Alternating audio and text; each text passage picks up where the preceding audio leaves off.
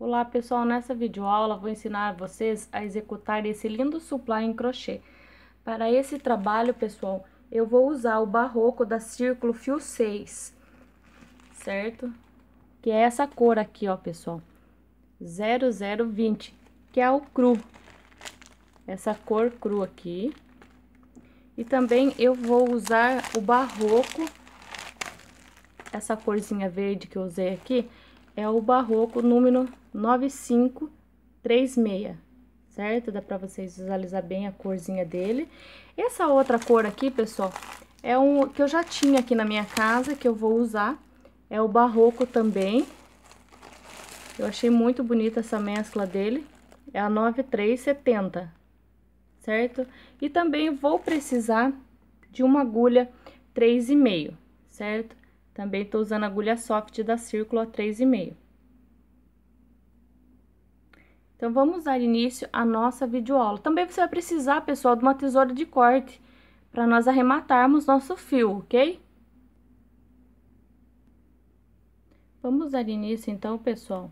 Nós vamos fazer um anel mágico e dentro do anel mágico, pessoal, eu vou colocar 16 pontos altos, certo? Uma correntinha, duas, três, formei o ponto alto, meu primeiro. Vamos pro segundo vocês vão fazer até contar aqui dentro 16 pontos altos. Eu vou fazer com vocês, pessoal, o porta-copo dele, tá?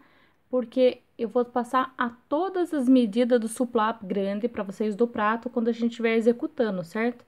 Para que vocês não restem dúvida, assim pelo menos vocês conseguem fazer duas peças. Fiz as 16 correntinhas de ponto alto aqui, 16 ponto alto, vou puxar esse aqui, ó o, o anel mágico e deixa bem fechadinho, ó, o anel. Venho aqui, conto primeiro, segundo, no terceiro ponto da carreira de base e vou fechar com um ponto baixíssimo aqui, ó. Feito isso, pessoal, eu vou percorrer agora em cada ponto da carreira de base, eu vou fazer um ponto alto. Aliás, dois pontos altos. Um. No mesmo ponto da carreira de base, outro ponto, ó.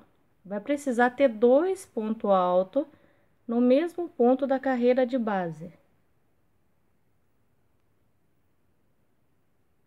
Ixi, minha agulha enroscou. Dois pontos aqui. No mesmo ponto da carreira de base, outro ponto. No próximo, um, dois no mesmo ponto da carreira de base. Nós vamos ter dois pontos em cada pontinho da carreira de base. Faça a volta toda desta mesma forma. Cheguei aqui, ó, pessoal, vou no terceiro ponto da carreira de base, vou fechar meu ponto aqui com ponto baixíssimo. Fazendo só isso. Vou percorrer novamente, vou fazer uma correntinha de ponto alto. No mesmo ponto da carreira de base, pessoal, eu vou fazer outro ponto alto. No próximo, eu vou fazer um ponto alto aqui.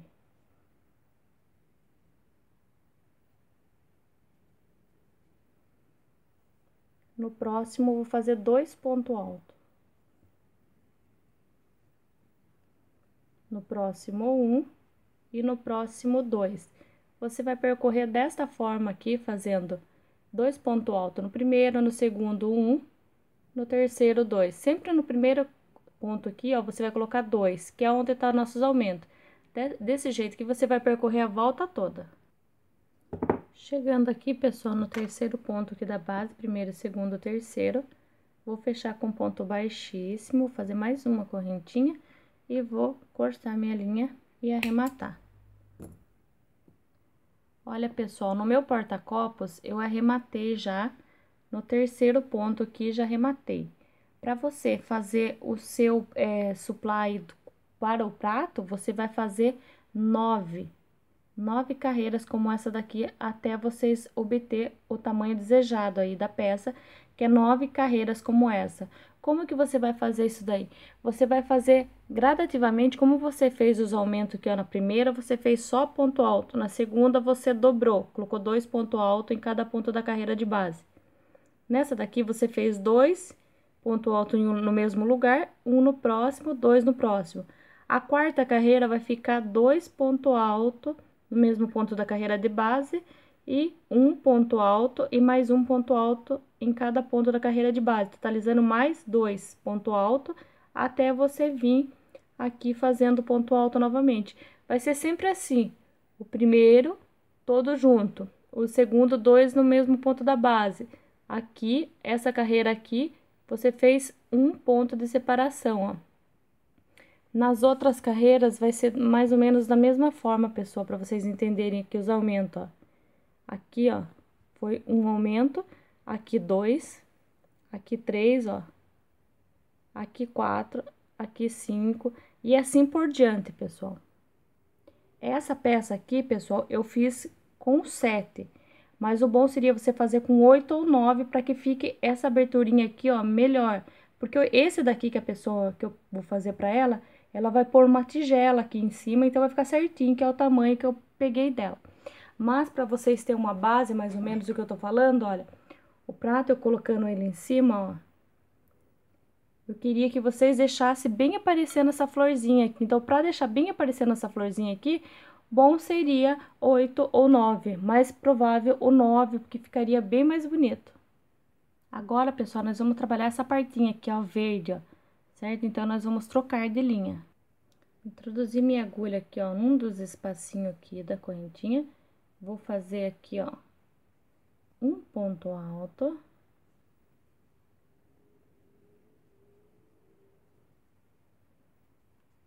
No mesmo ponto da carreira de base, pessoal, vou ter que ter quatro pontos altos aqui. Fiz dois, três, quatro laço, pulo um, dois, no terceiro ponto da carreira de base, novamente eu vou repetir os quatro pontos altos. Vai ser desta forma aqui que eu vou percorrer a base toda, pessoal. Então, vocês continuam fazendo o seu aí, que eu vou fazendo o meu aqui, quatro pontos altos no mesmo ponto da carreira de base. Não vou pular nenhuma correntinha, pessoal, vou pular só dois pontos da base depois que eu laçar, ó, um, dois, e vou no próximo e vou fazer novamente. Desta forma aqui, eu vou percorrer minha base toda. Olha, pessoal, como tá ficando a nossa peça. Olha, pessoal, não importa que quantidade que você vai fazer aqui, é importante que você, quando iniciar, você iniciar com números pares, porque dá certinho essa execução aqui, sobrando sempre fazendo dois de separação. Vai dar exatamente igual a minha peça. Na terceira correntinha aqui, você vai fechar com um ponto baixíssimo e vai fazer mais um ponto e vai cortar a nossa linha agora, porque nós vamos trabalhar novamente com outra cor. Pode arrematar a sua linha. Estando com a sua peça já arrematada, pessoal, eu gosto de deixar tudo prontinho já, não deixar para a última hora. Então, eu entro aqui, ó, com a minha agulha aqui, num desses primeiros aqui dos quatro pontos altos. Vou passar aqui. E aqui eu vou fazer dois pontos altos no mesmo ponto da carreira de base. No primeiro. No segundo, vou fazer somente um ponto alto. No terceiro, somente um ponto alto. No último ponto da carreira de base e no primeiro, vai ser sempre dois pontos altos, pessoal. Vai ser sempre dois pontos altos, então, no primeiro e no último ponto da carreira de base. Desta forma aqui, ó, ficou. Agora, eu vou soltar a minha linha, porque eu vou ter que fazer tipo um ponto pipoca aqui, ó. Vou vir aqui no primeiro, segundo, no terceiro ponto da carreira de base e vou pegar a minha linha lá atrás, eu vou laçar, ó, e puxar ela aqui dentro. Agora, eu vou fazer aqui, ó, uma correntinha, certo? Uma correntinha só. Laço, vem aqui dentro, ó, vou fazer um ponto alto. Aqui dentro faço um ponto alto, certo? Uma correntinha de separação, novamente eu vou repetir no primeiro ponto da carreira de base, eu vou fazer aqui, ó, dois pontos altos. Da mesma forma que você fez, eu vou repetir aqui, ó, dois no primeiro, um no, ter no segundo, no terceiro, um ponto alto. E no quarto ponto da carreira de base, você vai fazer novamente dois pontos altos. Vou soltar minha linha aqui, vou vir aqui, ó, no primeiro aqui, que é dos dois pontos altos junto, vou colocar minha agulha aqui e vou pegar aqui, ó, e vou pescar ele e puxar tudo junto. uma corrente de separação, laço e venho aqui e faço um ponto alto. Uma corrente de separação e novamente eu vou começar tudo de novo aqui, fazendo os dois pontos altos aqui. Então, você repete dessa forma aqui a sua volta toda. Cheguei aqui no último ponto aqui, ó, pessoal. Já fiz uma correntinha de separação, fiz o ponto alto aqui. Então, veio bem no pezinho aqui e vou fechar aqui, ó, com um ponto baixíssimo. E vou fazer uma correntinha e vou cortar já para arrematar meu trabalho. Porque agora nós vamos trabalhar novamente com o fio cru. Olha, pessoal, se o seu ficou apertadinho, porque esse daqui ele vai assentando aqui, porque a nossa, esse daqui, a parte da florzinha do botão de flor, ele fica mesmo empinadinho para cima, porque é o, é o trabalho dele, é o pipoquinha, por isso que ele fica assim, pessoal. Mas se você quiser fazer o pipoca aqui, você quiser fazer com a linha agulha maior, maior que eu tô usando a 3,5 com a 4, vocês ficam à vontade, pessoal. Então, aqui, ó, pessoal, eu venho aqui, ó, bem nessa partinha aqui onde eu deixei aqui, esse ponto aqui de correntinha aqui. E vou laçar minha linha aqui, ó, que eu tô aqui. Ou vocês amarram, vocês fazem do jeito que vocês acharem melhor. Aqui, pessoal, eu vou fazer cinco correntinhas, ó. Aqui eu fechei aqui agora, um, dois, três, quatro e cinco.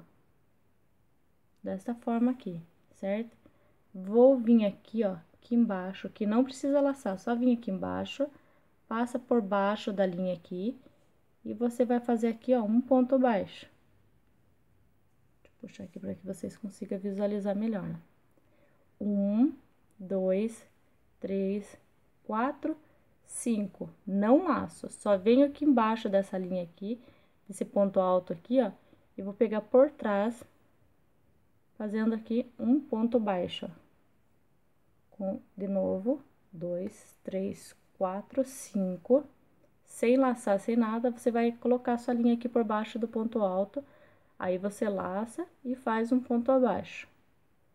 Desse jeito aqui, pessoal, você vai percorrer por toda a volta do seu trabalho. Vai ficar todo cheio de essas argolinhas aqui, ok? Chegando aqui, pessoal, no último que você faz as argolinhas, vem bem no pezinho dele aqui. Você vai fechar aqui, ó com um ponto baixíssimo, certo? Coloca a sua agulha aqui dentro agora da argolinha e faz um ponto, um ponto baixo. Agora, você vai subir aqui mais duas correntinhas para equivaler a um ponto alto. No mesmo ponto da carreira de base, pessoal, você vai colocar cinco pontos, da, cinco pontos altos aqui, totalizando. Estamos aqui, ó, desta forma aqui. Feito cinco pontos altos aqui, ó. Um, dois, três, quatro, cinco. Vem no próximo, faz um ponto baixo. Sobe uma, duas correntinhas. Próximo ponto alto, mais um ponto alto. Vamos fazer aqui um total de cinco pontos altos. Desta forma aqui, a gente vai trabalhar a volta toda, pessoal. Fazendo, ó, cinco pontos altos. Vem no próximo aqui, faz um ponto baixo e já sobe de novo mais duas correntinhas e vamos subir aqui os cinco pontos altos. Nós vamos trabalhar desse jeito aqui, ó, a volta toda fazendo cinco pontos altos dentro aqui. Chegamos aqui, ó, pessoal, como tá, ficou o nosso trabalho, ó. Ficou bem bonitinho, né? Agora, a gente vai fechar aqui, ó. Fez os cinco pontos altos aqui novamente. Vem aqui bem no pezinho dele, ó, pra você fechar, ó. E fecha com um ponto baixíssimo aqui, ó mais uma correntinha e é só arrematar agora. Olha, pessoal, como fica um luxo.